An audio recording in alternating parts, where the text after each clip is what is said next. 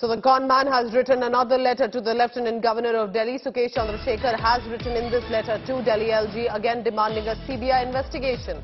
Chandrasekhar is highlighting more details in this new letter and says about uh, the transactions that were also reportedly made. Let's go quickly to India Today's Arvind Oja for the details. Arvind, ये क्या नई चिट्ठी है? Letter जो लिखा गया है lieutenant governor को, इसमें किस तरह की बातचीत एग्जैक्टली कही गई है? क्या इसमें भी मुख्यमंत्री या किसी पॉलिटिकल पार्टी का मेंशन है?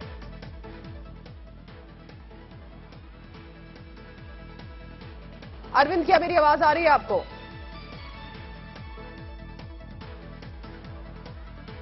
All right, so Arvind Oja is uh, getting us this uh, big breaking news. Remember, Sukesh Chandrasekhar has suddenly sprung into action. He's been writing letters and he said he's written it earlier as well.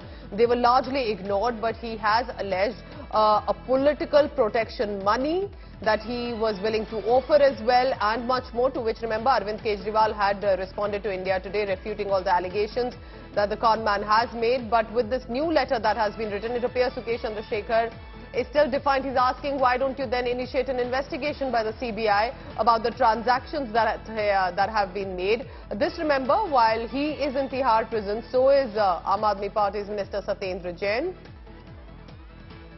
Let's now go quickly because it's uh, becoming a huge political issue. BJP Shehzad Poonawalla is joining me today morning. Shehzad, another letter written by uh, Sukesh referring to transactions made here. Of, of course, well, the Aam Aadmi Party has completely refuted any allegation. You see, uh, I'm learning about this letter from your channel, and therefore, I would only say that this is a candid confession that Aam Aadmi Party ki की एक ही उपलब्धि सामने आई and the manner in which they were doing thagai and thagai of a thug that means they are a party of Mahatag. Now, today the questions that need to be answered by the Aam Party is that did they take 10 crore rupees as protection money? Did they take 50 crore rupees for a Rajya Sabha seat? Was the money exchanged at Kailash Gehlot's farmhouse? Was Satyendra Jain kept as a minister and continues to be a minister for this purpose?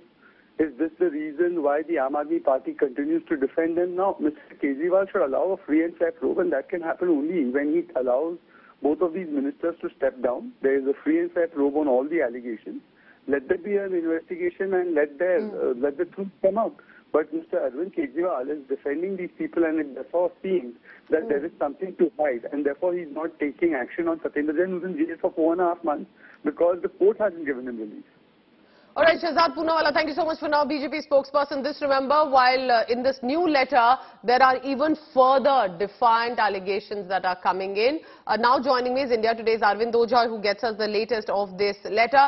Arvind, ये letter आता है जब uh, पिछली बार एक सत्येंद्र जैन के बारे में बात कही गई थी 50 करोड़ के बारे में बात कही गई थी टिकट डिस्ट्रीब्यूशन को लेकर इस नए लेटर में क्या लिखा गया है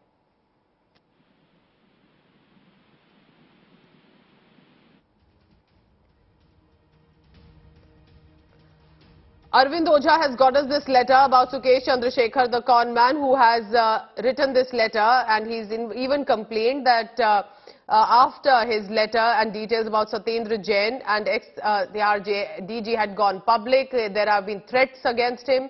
And he clearly uh, now says, why don't you go ahead and have a further investigation? And why was Arvind Kejriwal in touch with me?